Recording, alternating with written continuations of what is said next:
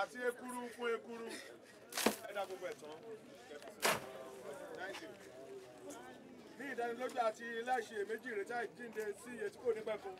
Nípa olúwa wa jésù kristi ẹni tí yóò pa ara òṣùwà dá kí ó lè rí bákan náà òtítà rẹ̀ tí ó ní ògo gẹ́gẹ́ bí iṣẹ́ agbára. Nípasẹ̀ èyí èyí là ń béèrè nítorí ọ̀pọ̀ ọmọ rẹ̀ jésù kristi olúwa wa.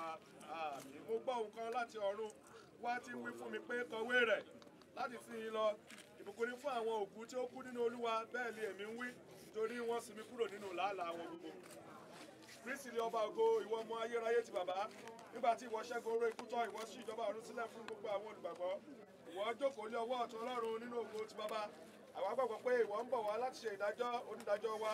Nítorí náà lé ẹ jẹ́ kí a gbàdúrà.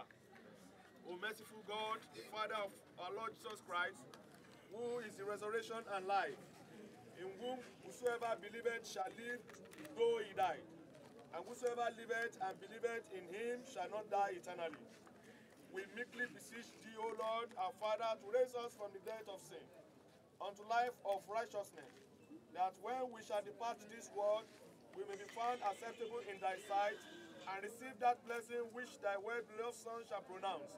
To all that loved and fear thee, saying, Come ye, blessed children of my Father, receive the kingdom prepared for you from the beginning of the world. Grant this, we beseech thee, O merciful Father, through Jesus Christ our Lord. Amen. Ọlọ́run agbára àwọn aláìlera.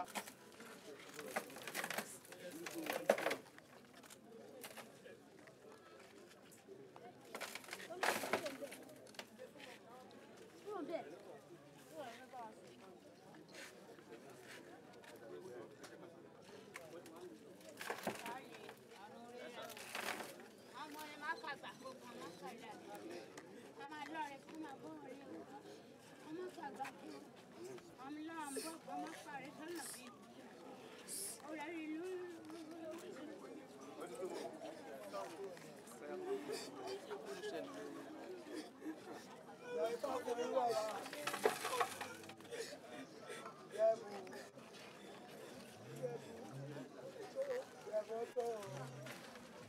Lórí ẹ ṣáà fẹsọ̀ jẹ́. Eré ọmọ ló jí fò òwúrọ̀ ẹ̀ sá. Àbíyamọ fẹ́ ìtàn.